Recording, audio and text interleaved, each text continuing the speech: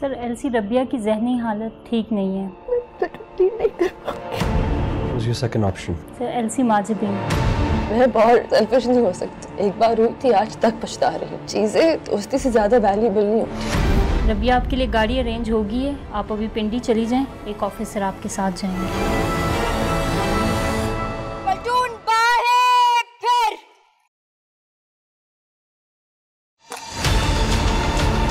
माजबीन ये आपके करियर का सबसे बड़ा इम्तहान है। So you have to leave the platoon yes ma'am